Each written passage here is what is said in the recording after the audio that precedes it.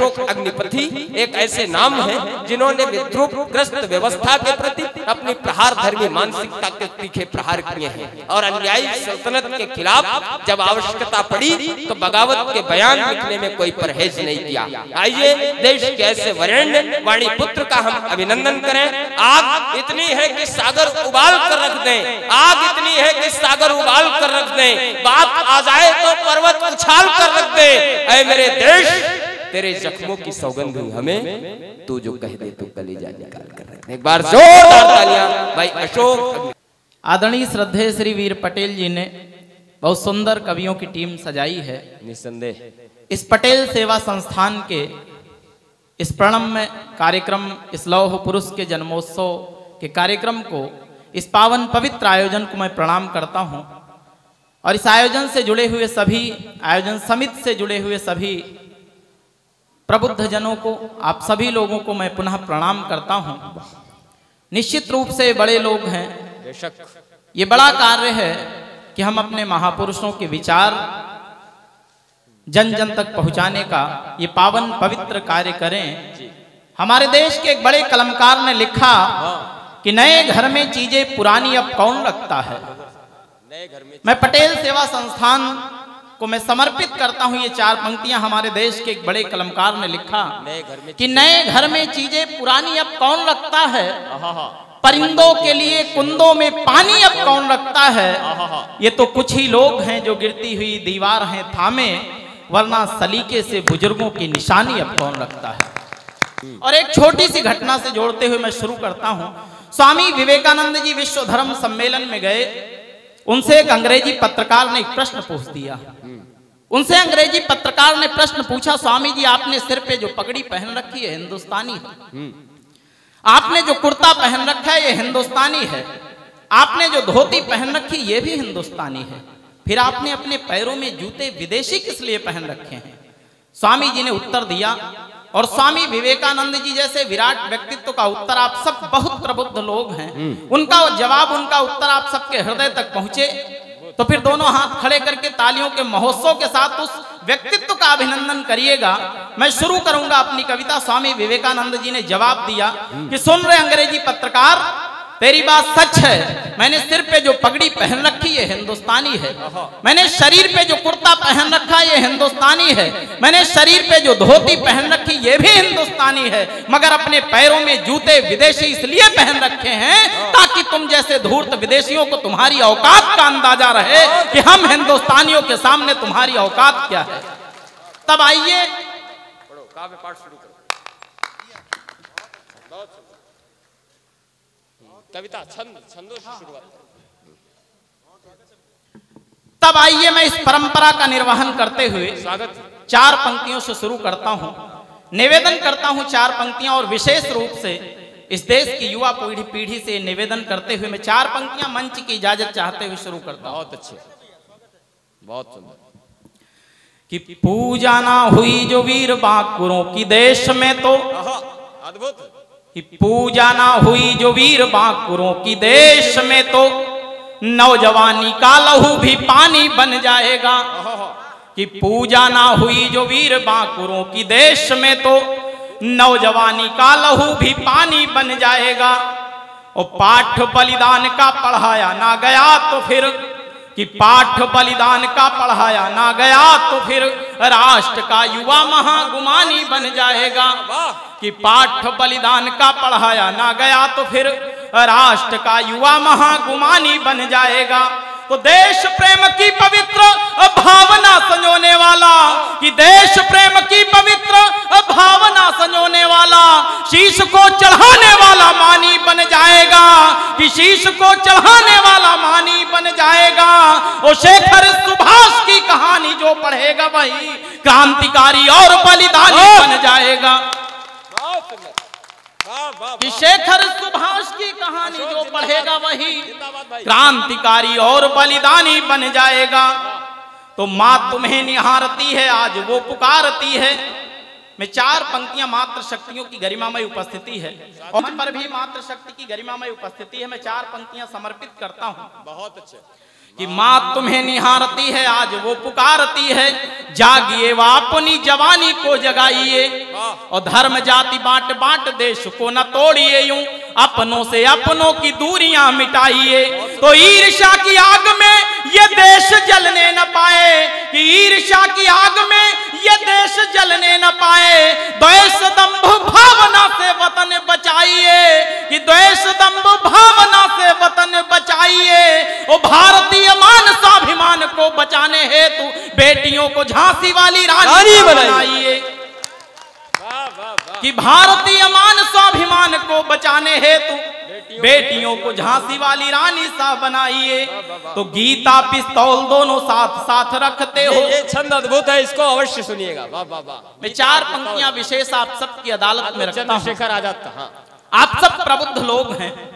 शहीद शिरोमणि चंद्रशेखर आज़ाद। ये भूमि है। जी की ये भूमि है पावन पवित्र भूमि है। मैं नमन करता हूँ इस पावन पवित्र भूमि पर। आज़ाद जी के एक मित्र ने एक प्रश्न किया कि गीता और पिस्तौल दोनों साथ में क्यों रखते हो? आज़ाद जी ने जवाब दिया दो पंक्तियों में सवाल और दो पंक्तियों में जवाब बस इसी भावभूमि का छंद चार पंक्तियाँ मैं पढ़ता हूँ।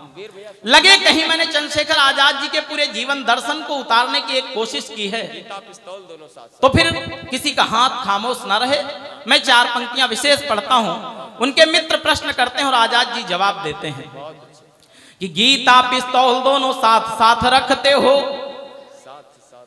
कि गीता पिस्तौल दोनों साथ साथ रखते हो। कि गीता पिस्तौल दोनों साथ साथ रखते हो। दोनों साथ रखने की कैसी मजबूरी है?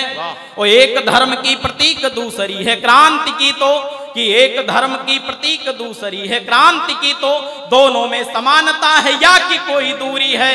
तो बोले चंद्रशेखर कि क्रांति पिस्तौले और कि बोले चंद्रशेखर कि क्रांति पिस्तौले और गीता के बिना हमारी प्रेरणा अधूरी है। कि गीता के बिना हमारी प्रेरणा अधूरी है। और शत्रुओं को जल से मिटाने हेतु बंधुवर गीता भी ज़रूरी, पिस्तौल भी ज़रूरी है जय हो जय हो जय हो वाह वाह वाह वाह अशोक शत्रुओं को जड़ से मिटाने हेतु बंधुवर गीता भी ज़रूरी, पिस्तौल भी ज़रूरी। कि शत्रुओं को जड़ से मिटाने हेतु बंधुवर गीता भी ज़रूरी, पिस्तौल भी ज़रूरी है। तो भारतीय सैनिकों का शौर्य था उफान पर। नेताजी आज़ाद हिंद फौज, नेताजी ने आज़ाद हिंद फौज सेना का गठन किया। सेना भारत आई अंग्रेज़ों से लोहा लेने के लिए बरसात का मौसम आ गया। सैनिकों के पास लड़ने के लिए हथियार खाने के लिए अन्न नहीं था।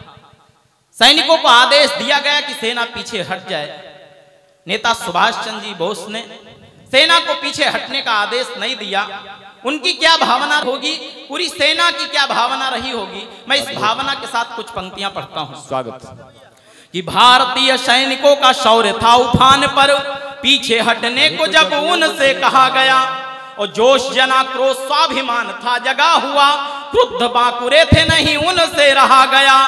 तो रक्त में उबाल लिए, और क्रांति की मशाल लिए, कि रक्त में उबाल लिए, और क्रांति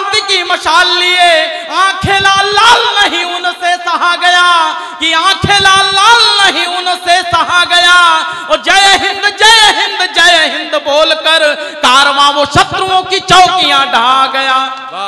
कि जय हिंद जय हिंद जय हिंद बोलकर कारवां वो शत्रुओं की चौकियाँ ढा गया। तो राणा का लहू शरीर में उबाल मारता है। और उन वीर बाकुरों की क्या भावना थी? मैं इसी भावना के साथ चार पंक्तियाँ और पढ़ता हूँ। कि राणा का लहू शरीर में उबाल मारता है। खाई हैं जिन्होंने घास पात वाली रोटियाँ। और स्वाभिमानी देशभक्त बोश का वो जय घोष, ध्यान में सदैव रही बापू की लंगोटियाँ। तो वक्ष के समक्ष, कि वक्ष के समक्ष, देश की स्वतंत्रता का लक्ष्य, जीत लेंगे शत्रु से ऊँची ऊँची चोटियाँ। कि जीत लेंगे शत्रु से ऊँची ऊँची चोटियाँ। और सिर पे कफन बाँध निकले हैं आज हम, काली को खिलाने हैं तो शत्रुओं की बोटियाँ। कि सिर पे कफन बाँध निकले हैं आज हम। काली को खिलाने हैं तो शत्रुओं की बोटियाँ। मैं चार पंक्तियाँ और पढ़ता हूँ तालियाँ आपकी कमज़ोर हैं। मैं चार पंक्तियाँ और पढ़ता हूँ विशेष चार पंक्तियाँ समर्पित करता हूँ कि झांसी वाली रानी की रवानी मर्दानी देख। हाँ। मैं चार पंक्तियाँ विशेष रूप से मात्र शक्ति को समर्पित करते हुए पढ़ता हूँ। स्वागत। कि झांसी वाली रानी की रवानी मर्दानी देख। शत्रुओं का दल हाय हाय बोलने लगा। का झांसी वाली रानी की रवानी मर्दानी देख। शत्रुओं का दल। हाय हाय बोलने लगा। और रानी जो भवानी बन शीश काटने लगी तो रण क्षेत्र शत्रुओं का दम्भ तोलने लगा। और तो शत्रु रह गया दंग। देश प्रेम वाला रंग कि शत्रु रह गया दंग। देश प्रेम वाला रंग रानी की रगों में मानो जोश घोलने लगा। वो एक ही अकेली अलबेली खेली मौत से तो मौत का ही खुद अभिमान डोलने लगा। कि एक ही अकेली अलबेली खेली मौत से तो मौत का भी खुद अभिमान डोलने लगा। वाह। मौत का ही खुद अभिमान डोलने लगा। तो जानता है विश्व अहिंसा के पुजारी हम। मैं चार पंक्तियाँ और पढ़ता हूँ। जानता है विश्व ये कि जानता है विश्व ये अहिंसा के पुजारी हम। जब हमारे देश में देश विरोधी गतिविधियाँ होने लगे तो एक कलमकार को लिखना पड़ता है। उसको लिखना उसकी मजबूरी हो जाती। हमारे देश के एक बड़े कलमकार ने कहीं लिखा जी। कि कली बेच देंगे सुमन बेच देंगे। धरा बेच देंगे कि कली बेच देंगे सुमन बेच देंगे धरा बेच देंगे गगन बेच देंगे।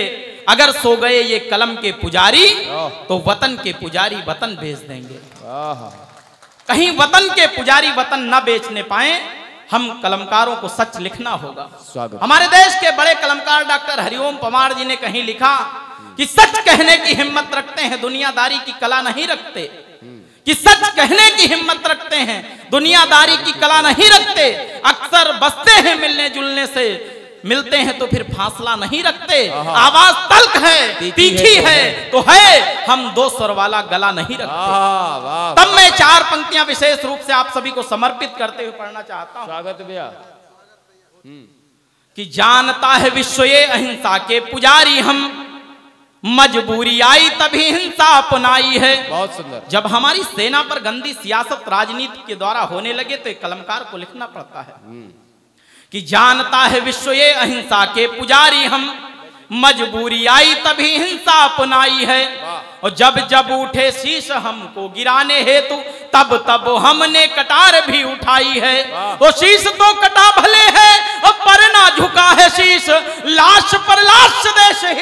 बिछाई है कि लाश पर लाश देश हित में बिछाई है और शत्रु हो या देश के दलालों से बता दे कोई लालों ने ही भारत की लालिमा बचाई है। बहुत सुंदर बहुत सुंदर। शत्रु हो कि शत्रु हो या देश के दलालों से बता दे कोई लालों ने ही भारत की लालिमा बचाई है। तो वायु जल अन्न जो यहाँ का ले रहे सदैव हाँ। मैं चार पंक्तियाँ और पढ़ना जी चाहता हूँ। पढ़िए। जब हमारे देश में देश के प्रसिद्ध प्रतिष्ठित शिक्षण संस्थान जेएनयू जैसे संस्थान जेएनयू जैसे विश्वविद्यालय में देश विरोधी गतिविधियाँ होने लगे। वायु जल अन्न। तो एक कलमकार को लिखना पड़ता मैं चार पंक्तियाँ विशेष आपको समर्पित करता हूँ। स्वागत है भैया। कि वायु जल अन्न जो यहाँ का ले रहे सदैव जन में यहीं पे यहीं की बुराई गाते हैं। और माँ ने वो दिया उन्हें है, जो दिया हमें तुम्हें है। कि माँ ने वो दिया उन्हें है, जो दिया हमें तुम्हें है। खाते हैं यहीं की पर विदेश की बजाते हैं। तो शत्रु से खतरनाक आस्तीन के हिसाब कि शत्रु से खतरनाक आस्तीन के हिसाब। दूध जो पिलाते हैं उन्हीं को डस जाते हैं। कि दूध जो पिलाते हैं उन्हीं को डस जाते हैं। और सांप व सबोलों को ये शायद पता नहीं है। पंछी जो बजाते हैं वो चक्र भी चलाते हैं। बहुत सुंदर अशोक बहुत सांप व सबोलों को ये शायद पता नहीं है। वंशी जो बजाते हैं वो चक्र भी चलाते हैं। तो भटके हैं नौजवान देश के विधान से जो। जी वाह वाह वाह। बहुत भटके हैं नौजवान देश के विधान से जो। कि भटके हैं नौजवान देश के विधान से जो। अभी हमारे देश ने एक ऐतिहासिक दिन देखा। हमारा देश अखंड हुआ 370 हटी। कुछ अभी सरकार को और करना है। कुछ क्या करना बहुत कुछ है। लेकिन इस दिशा में अभी बहुत कुछ करना है। मैं एक कानून की मांग करता हूँ इस देश से। यहाँ पर बहुत सी विचारधाराओं के लोग बैठे होंगे लेकिन लगे कि देश के लिए ये कानून बनना चाहिए। तो फिर एक बार उतनी तालियाँ बजाकर इस कानून का इस विचार का समर्थन आप सबकी तालियाँ कर दें जितनी तालियाँ अब तक इस सदन में न बजी हों। लगे समर्थन नहीं करना चाहिए तो आप शांत होकर सुन सकते हैं। मैं आपके मौन को भी स्वीकार करूँगा लेकिन कहीं लगे कि कानून इस देश में होना चाहिए तो फिर दोनों हाथ लहराते हुए हवा में समर्थन की तालियों के साथ मुझे बताइएगा। मैं चार पंक्तियाँ विशेष आपकी अदालत में रखता हूँ कि भटके हैं नौजवान देश के विधान से जो पाठ देश प्रेम का उन्हें पढ़ाना चाहिए। बहुत अच्छे। कि भटके हैं नौजवान देश के विधान से जो पाठ देश प्रेम का उन्हें पढ़ाना चाहिए। ओ खेल हो या युद्ध हो या देश का कोई भी क्षेत्र मान मातृभूमि का उन्हें पढ़ाना चाहिए। कि खेल हो या युद्ध हो या देश का कोई भी क्षेत्र खेल हो या युद्ध हो या देश का कोई भी क्षेत्र मान मातृभूमि का उन्हें बढ़ाना चाहिए। तो देश के जो मान स्वाभिमान के विरोधी उन्हें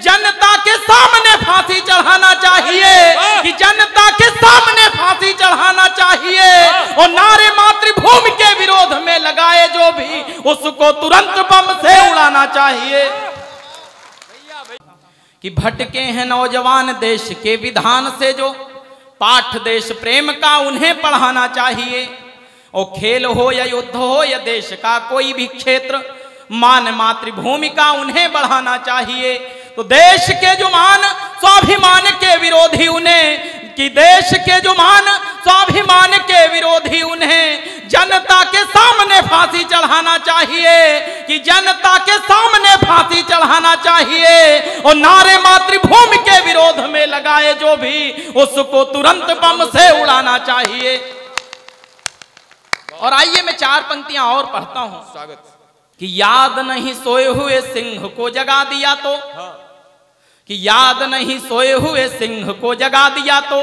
जंगली सियार बिल ढूंढ नहीं पाएगा। और चक्रधारी नायकों ने चक्र फिर चला दिया तो राक्षसों का बाप भी ये देश छोड़ जाएगा। तो शिव नेत्र नेत्र खोल और डमरू बजा दिया तो कि शिव नेत्र नेत्र खोल और डमरू बजा दिया तो तांडव शत्रुओं की पीढ़ियाँ रुलाएगा। और भारतीय सैनिकों ने चाह लिया जिस दिन पाक भी कहीं था इतिहास ही बताएगा। बहुत सुंदर। बहुत सुंदर